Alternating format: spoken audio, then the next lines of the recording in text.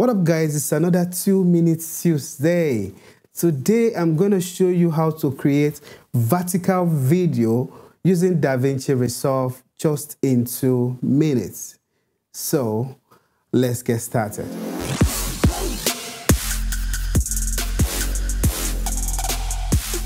Before I start the countdown, I would like to share basic things with you. The first thing is the skill sets required for this tutorial is basic. If you can navigate around DaVinci Resolve, you can actually get it done. And I also expect that you've actually created your projects and also imported your videos or your rushes and your audio. Once this is done, let the countdown begin.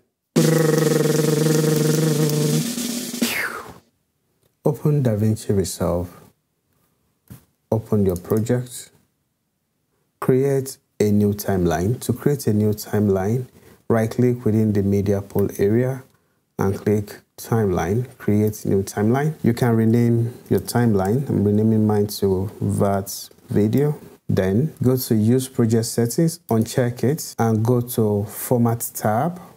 Change the timeline resolution to 1080 by 1920, which is vertical.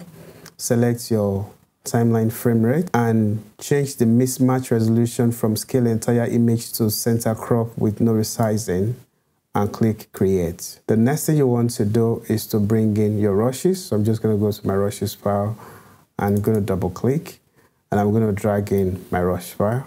If you shoot in 6K or 4K, you're going to have a larger resolution file and all you need to do is just zoom out your footage and resize the way you want it to be, you know, adjust the position, zoom it the way you want to be, which looks really nice. But if you shoot in Full HD, which is 1920 by 1080p, you're likely going to have to scale up your footage.